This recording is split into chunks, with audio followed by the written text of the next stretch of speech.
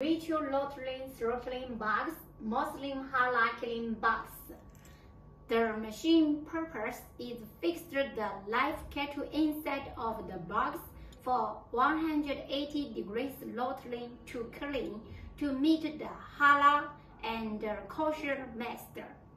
The operating principle by hydraulic system, complete machine structured by hot dip galvanized steel and stainless steel complete machine assembly and testing in Wafa factory, assembly and installation complete done at the slaughterhouse site.